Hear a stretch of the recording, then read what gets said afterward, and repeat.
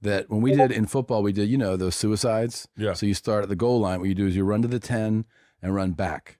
Then you run to the 20 and back. Then the 30 and back, right? But there would be the kid that, the, the three kids that would like push so hard. And you're like, what in the fuck? rest of us are like, wanting to puke. Yeah, those three kids, though, played college football. They had a thing where they weren't, they didn't want to lose these sprints that were just fucking killing us because you can't manufacture that that willingness to not lose.